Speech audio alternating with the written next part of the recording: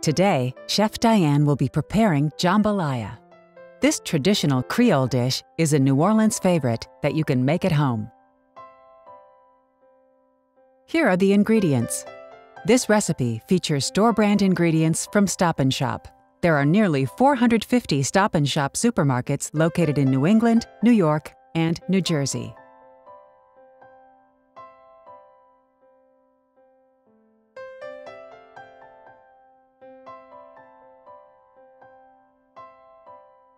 First, make a Cajun seasoning mix.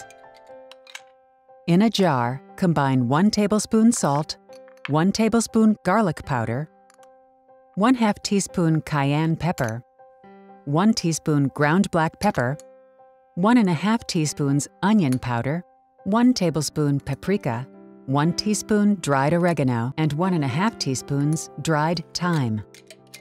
Close the jar and shake until well blended. Cut the chicken into pieces, about 4 ounces each.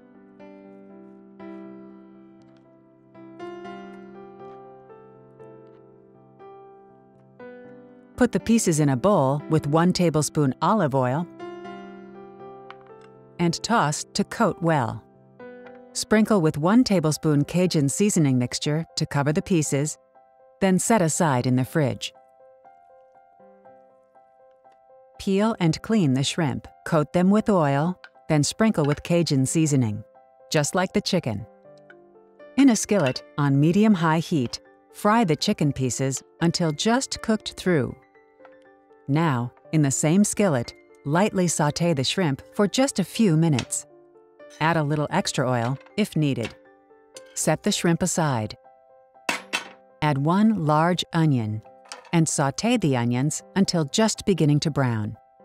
Add the diced celery and cook until softened. Next, add two red bell peppers cut into strips.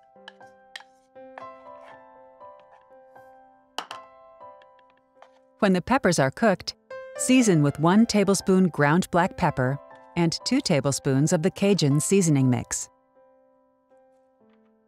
Stir in 3 cloves of minced garlic and cook briefly. Cut up the sausage and add it to the pot. Andouille sausage is most authentic if you can find it, but smoked sausage will work just as well.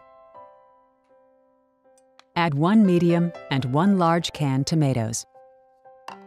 And 1 cup chicken stock. Let it simmer for 10 minutes.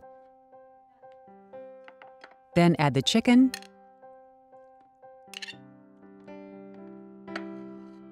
and the shrimp.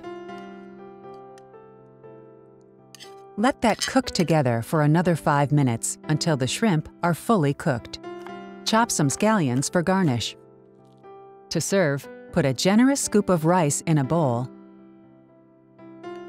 and ladle in the jambalaya on top. Make sure to get some shrimp, chicken, and sausage in each bowl. Sprinkle with scallions for a little extra fresh flavor. This recipe serves 8 and costs $5.25 per serving.